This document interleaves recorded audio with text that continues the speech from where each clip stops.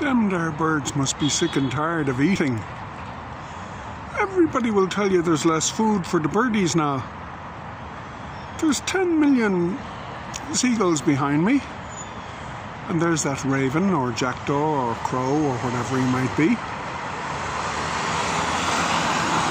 And I put down a half. Ah, he's gone, he's gone. He was checking out the. Uh, look, he likes the, the cornflakes. The cornflakes. He likes to. Oh, begorra, he's going to get fat. Where's the sugar, did you ask? Now, these are full of chemicals and whatnots in them that make them sweet and nasty and beautiful, Mr. Jackdaw. Don't eat too many of them, you'll get fat. Huh.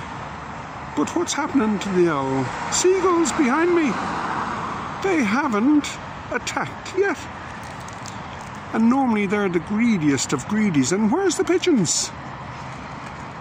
Look, somebody must be giving them. They're they're on patrol. They've they've had some reconnaissance and they've seen me putting in the cornflakes. These would be now Lidl cornflakes, I think. I found them. Somebody didn't want them.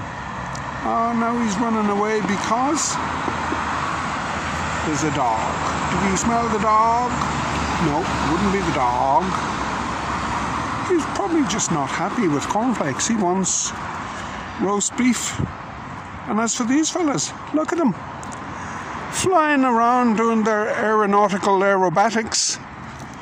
And they don't want Lidl cornflakes. If they are Lidl, they might be the other cornflakes. I don't know. Sure, Virginia, I didn't see the box. I just seen the bag.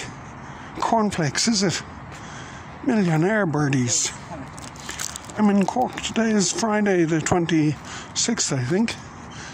And isn't it a lovely day? I'm going up now to spend the national debt buying a few bananas. Ha! Millionaire.